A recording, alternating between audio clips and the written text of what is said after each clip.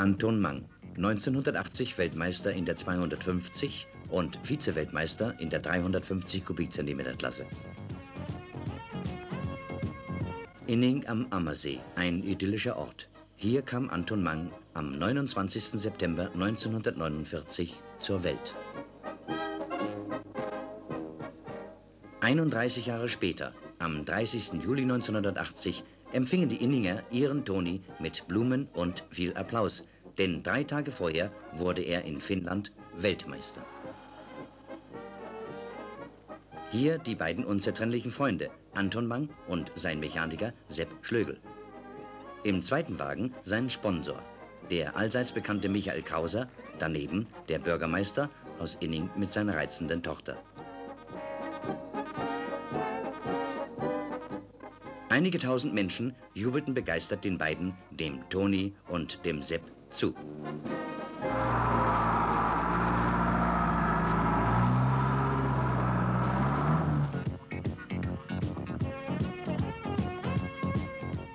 Auf dem Sportplatz wurde dann unter Flutlicht bis spät in die Nacht hinein gefeiert. Dabei wurden einige Fässer Freibier ausgeschenkt.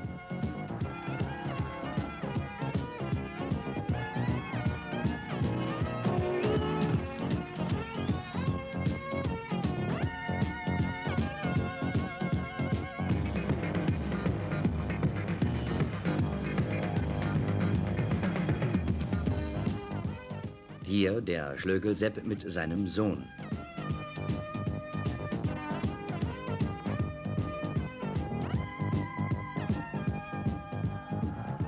Der Toni wurde fast erdrückt. Jeder wollte ein Autogramm, besonders natürlich die Kinder.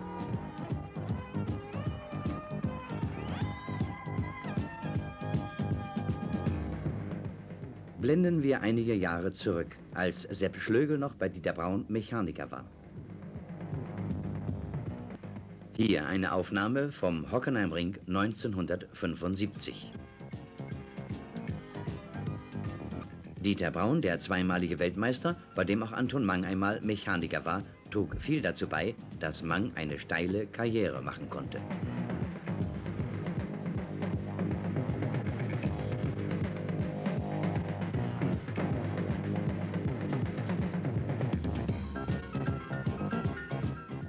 Seinen ersten Grand Prix-Sieg feierte Mang 1976 beim Großen Preis von Deutschland auf dem Nürburgring. Mit seiner 125er Morbidelli fuhr er allen auf und davon.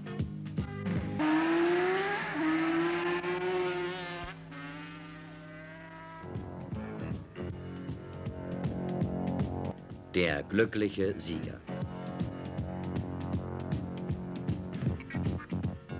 Nach langer Zeit erklang wieder einmal die deutsche Hymne.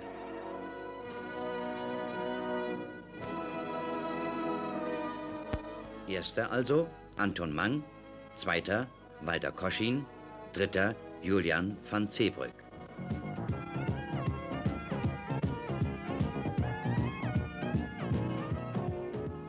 Anton Mang versuchte sich auch in der Halbliterklasse. Hier Schlögel Sepp mit der Wambold Suzuki bei der Abnahme in Imola. Mang bestaunte schon damals die neuen Kawasakis. 1978 bekam er dann zwei dieser Werkmaschinen, mit denen er 1978 in Daytona den vierten und 1979 den dritten Platz in der 250 Kubikzentimeter Klasse belegte. Das ist sie, die Kawasaki. 1979 war Mang im WM-Endklassement Vierter und Sechster. Für 1980 wurde ihm der Werksvertrag gekündigt. Aber zwei Idealisten nahmen sich seiner an. Es waren die Firmen Krauser aus Mehring und Rallysport aus Garmisch-Partenkirchen.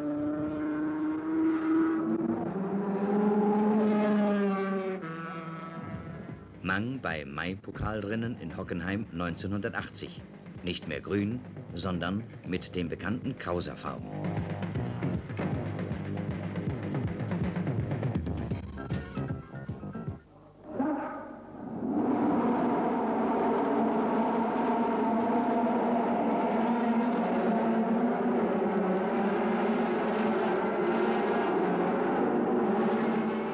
Mang war wieder Privatfahrer, aber er fuhr von Sieg zu Sieg.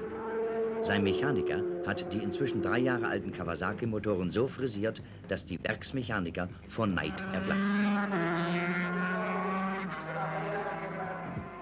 So fuhr Toni Mann beim Mai-Pokalrennen 1980 in Hockenheim allen davon.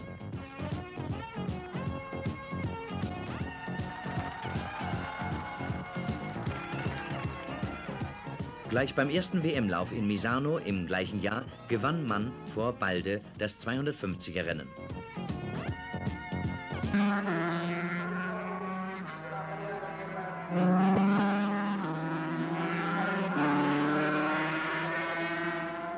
Erster Mang, zweiter Balde, dritter Conforti.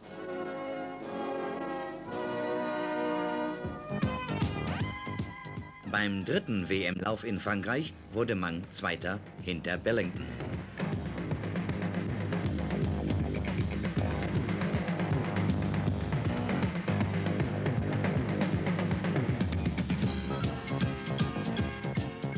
Nach dem Rennen will das begeisterte Publikum sie natürlich noch einmal sehen, die Sieger.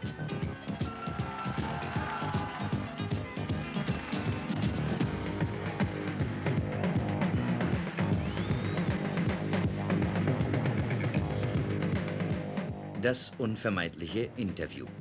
Toni Mang im Gespräch mit dem Chefredakteur der Zeitschrift Motorsport aktuell.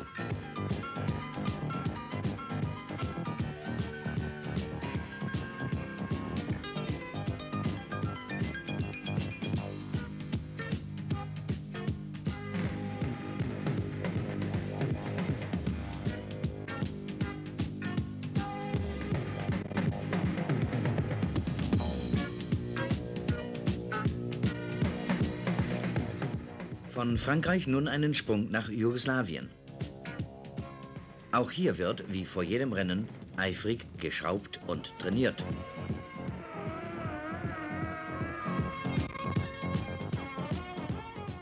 Für das Rennen in Rijeka konnte Cock Bellington wegen Krankheit nicht an den Start gehen. So gewann Anton Mang überlegen das Rennen der 250 Kubikzentimeter Klasse.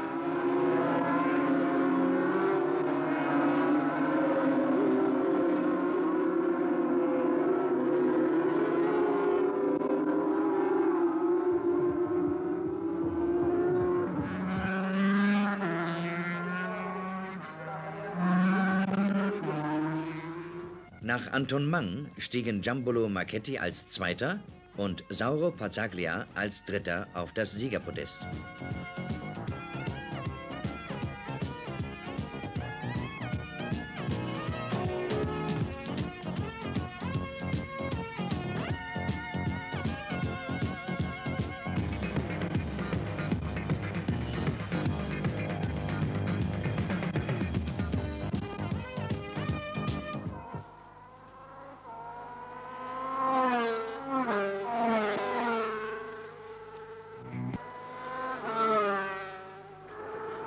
Auch beim großen Preis in Belgien, in Zolder, war Bellington noch nicht dabei. Anton Mang gewann und baute seinen Punktevorsprung so weit aus, dass er in Finnland, drei Wochen später, vorzeitig Weltmeister in der 250 Kubikzentimeter Klasse wurde.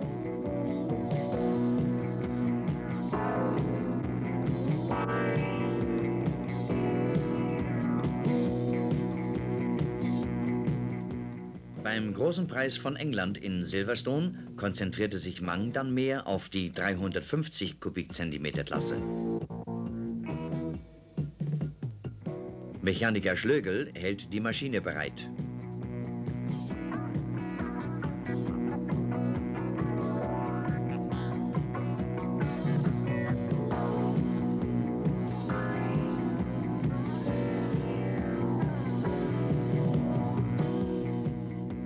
Auch Lavado fährt an den Start. 350 Kubikzentimeter. Erste Reihe Anton Mang, Jon Eckerold und Jean-François Baldet.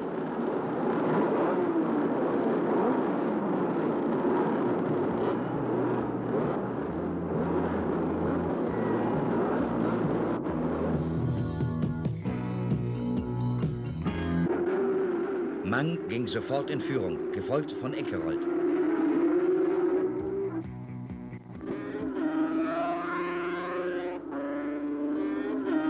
Toni fuhr, wie es sich für einen Weltmeister gehörte.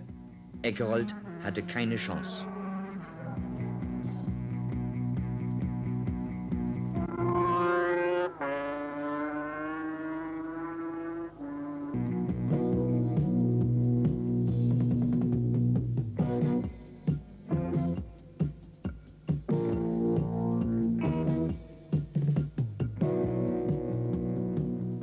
Ein Engländer stürzte, hatte jedoch Glück, nur leichte Verletzungen.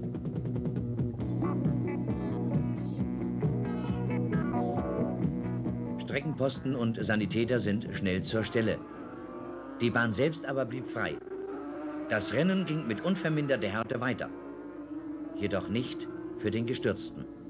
Seine Hoffnungen auf einen guten Platz waren dahin. Seine Maschine nur noch Schrott.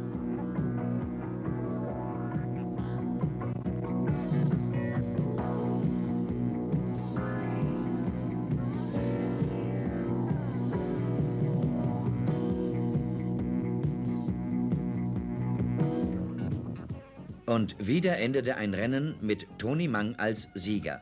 Jon Eckerold musste sich mit dem zweiten Platz begnügen. Erik Saul wurde auf den dritten Platz verwiesen.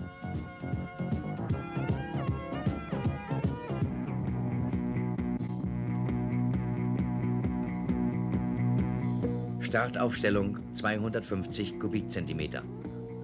Mang neben Cork Bellington wieder in der ersten Startreihe. Start in Zeitlupe gesehen.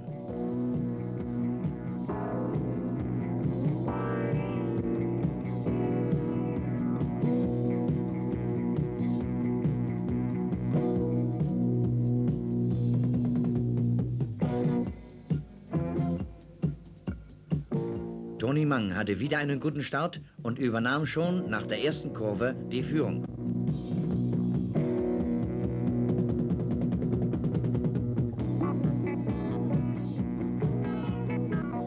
Freundin Waltraud und Helfer Franz verfolgten ihn und seine Konkurrenten, denn durch sie erfuhr das deutsche Rennfahrerass, wie viele Runden er noch zu fahren hatte.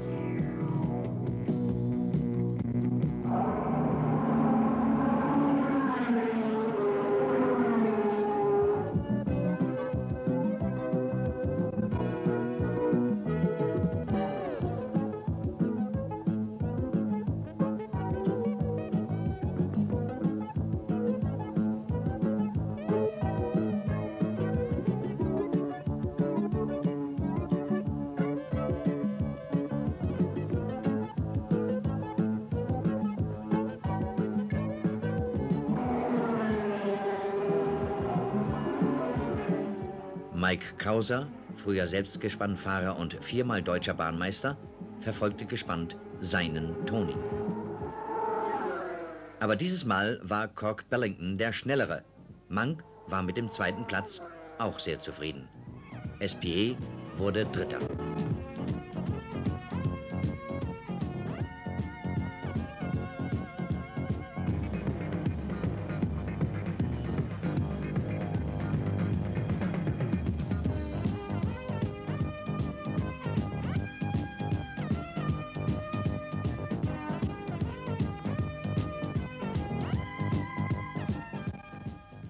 In der Tschechoslowakei. Startaufstellung 350 Kubikzentimeter. Mang neben Eckerold wieder in der ersten Startreihe. Beide auf der Lauer, denn ein guter Start kann über den Sieg entscheiden.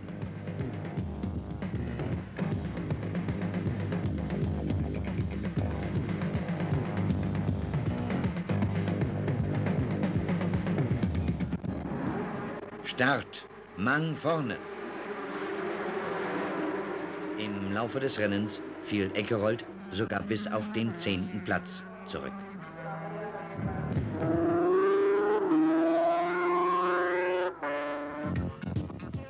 Und wieder heißt der Sieger Toni Mang.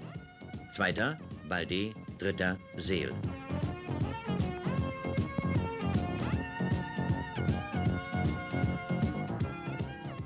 Wer würde den Toni nicht um seinen Sieg beneiden.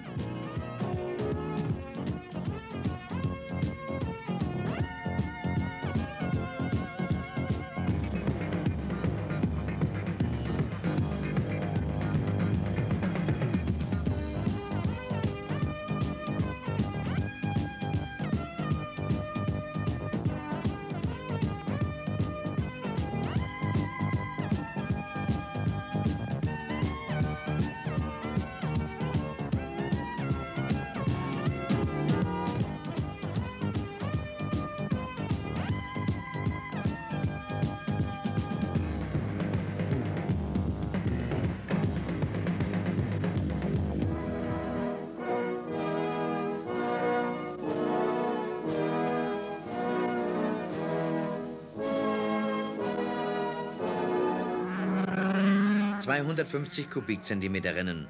Mang vor Bellington. Sponsor Schwabe Schott aus Garmisch-Partenkirchen beobachtet mit Schwärzel, Schlögel und seinem unermüdlichen Franz das Rennen.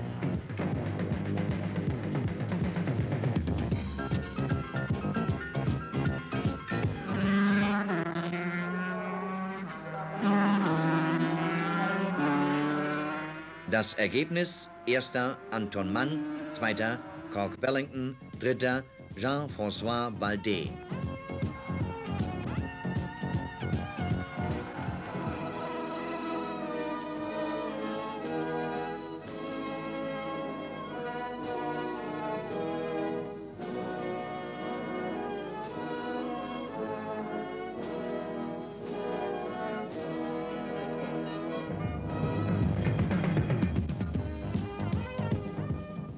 Beim Großen Preis von Deutschland gab es dann das spannendste und dramatischste Rennen der letzten Jahre. Die Zuschauer hielten ihrem Toni die Daumen. Großer Preis von Deutschland für Motorräder. Deutsche Tourist Rocky auf dem Nürburgring. Lauf die Weltmeisterschaft.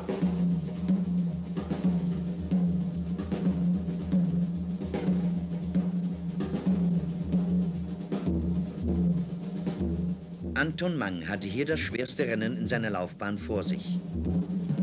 Er und Eckerold hatten je 48 Punkte bei diesem letzten WM-Lauf des Jahres 1980.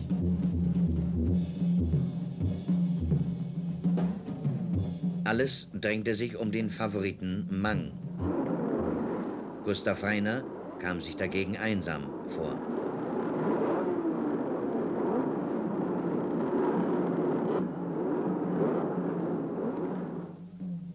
Ergreifend die folgenden Szenen.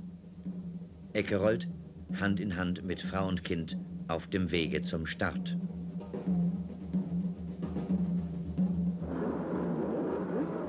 Das erregte Aufmerksamkeit.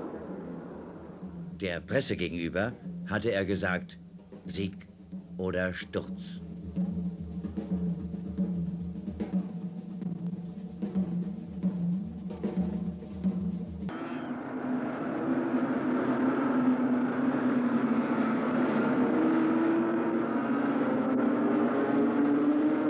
Aus der ersten Runde kam Eckerold mit großem Vorsprung zurück. Jon Eckerold in der Südkurve.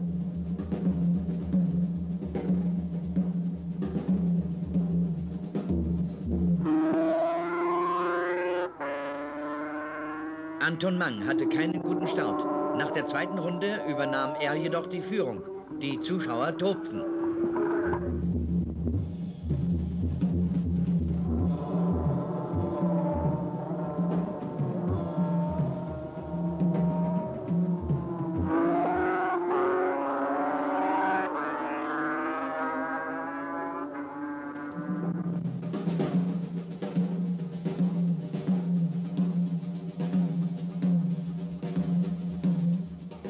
Unheimlich schnell waren die beiden unterwegs. Eckerold stellte mit 8,25,9 einen neuen Rundenrekord auf. Toni Mang war nur sieben Zehntel langsamer.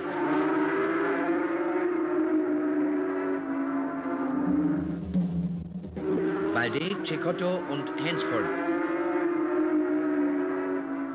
Auch Jacques Cornu, Jeffrey Seal und andere Fahrer kämpften um gute Plätze.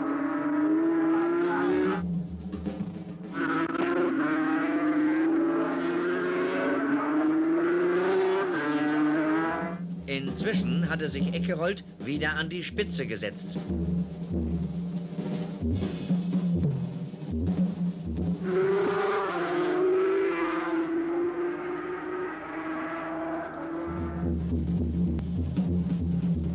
Einen erbitterten Kampf lieferten sich immer noch Balde, Cecotto und Hansford.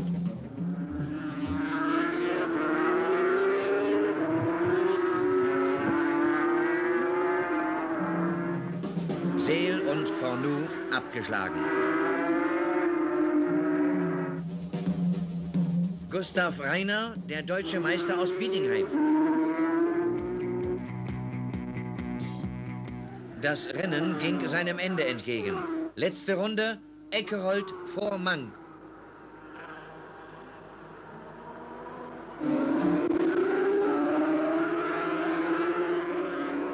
Weit abgeschlagen kämpften Cicotto, Balde und Hansford immer noch um die Plätze 3, 4 und 5.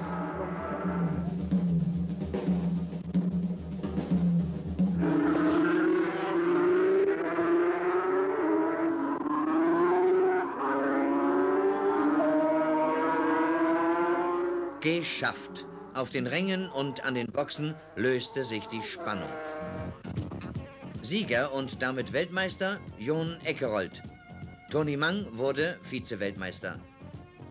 Tonis Freundin Waltraud war glücklich, denn sie hatte ihren Toni wieder.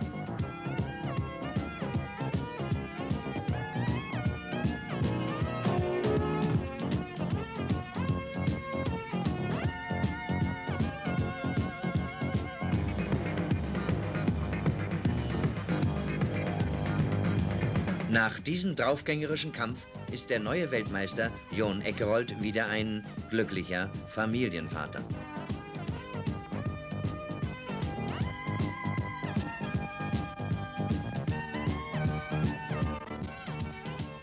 Die Gemeinde Inning ist stolz auf ihren Weltmeister und Vize-Weltmeister Toni Mang. Im Namen der gesamten Bürgerschaft von Inning überbrachte das Gemeindeoberhaupt den Willkommensgruß. Herzlich willkommen in der Gemeinde Ening und ich gratuliere als Weltmeister von Herzen im Auftrag des Gemeinderats Ening. Die weitere Ansprache findet am Sportgelände statt. Ich darf jetzt einmal den Blumenstrauß, jetzt wo ist der Sepp?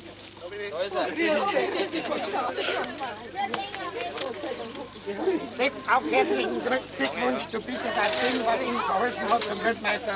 Ich gratuliere dir auch recht herzlich. Genau, Sepp. Die weitere Ansprache kommt am, am, am Festplatz dann. Frau Mau als Mutter darf ich Ihnen auch recht herzlich gratulieren, dass Sie so einen Sohn haben, der was der Gemeinde Ihnen so große Ehre gemacht hat. Darf ich Ihnen... Sie dürfen in Ruhe jetzt ein Puzzle geben. Ein Tag voller Glückwünsche. Am 20. September 1949 in Inning, in der Ringgasse 1, wo er heute noch lebt, bei seiner Mutter. Eltern waren Alois und Maria Mang. Der Toni Mang ist in Inning aufgewachsen und zur Volksschule gegangen. Und mit sechs Jahren war er schon fast berühmt geworden. Er hat beim Schonga-Film mitgewirkt. Und die Nochmals der Bürgermeister. Besonders hervorhalten. Herrn Sepp Schlögl, der sein ganzes Können in den Dienst der Errungenschaft gestellt hat. Eine ganze Gemeinde freut sich mit ihm, mit Toni Mang. Prost, Toni.